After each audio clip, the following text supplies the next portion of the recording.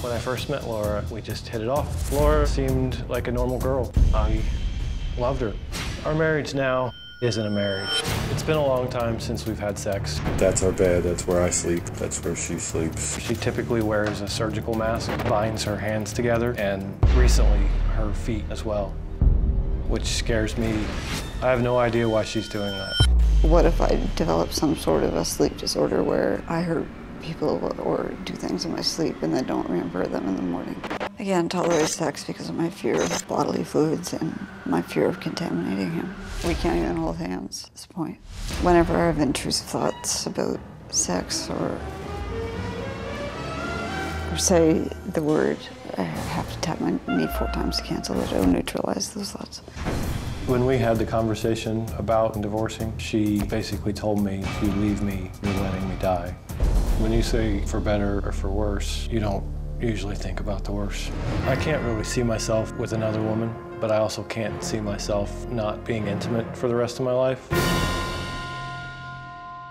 Laura was determined to travel to Los Angeles to meet me and get help not only for herself but for her family. She made it here, but in order for us to interview Laura, she had a list of requirements. Take a look. In order to be able to talk to you guys today, I had to make several requests. I asked to make sure everyone took off their watches and that there were no clocks in the room. I had to have pen and paper beside me, so if I needed to write number four or 18, that I could. I requested a white mug because I only drink from white mugs, and I requested the water in glass bottles as well. If I don't have these things, I can't function. I have a huge fear of people laughing at me, thinking I'm crazy. I'm pretty self-conscious about my disorder. Well, Laura got what she needed, and we sat down to do the interview, but it seemed like her OCD did most of the talking.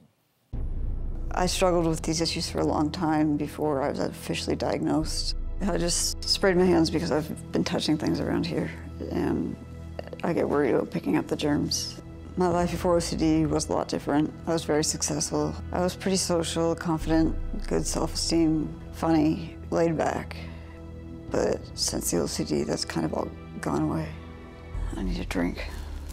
I need someone to open it. I'm looking for this measuring spoon because um, I drink the water in four ounce increments. I just measure the water like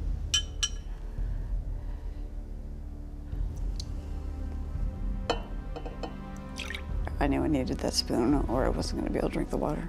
The OCD's really affected my family life and I feel really guilty and like I'm a horrible mother and wife because of it. I worry a lot about how it's affected Brian. Like I know he's more stressed, I'm more tired. Like he's pretty much carrying the workload of two parents right now. I feel like I'm having a lot of intrusive thoughts and that I just need to take some supplements and do some detox. I tap the top of the door once as I walk through with my right hand. That's how I have to move from room to room now.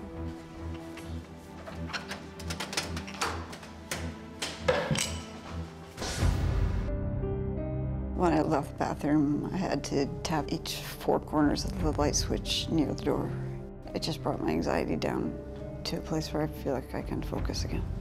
I'm ashamed of what this disorder has made me become.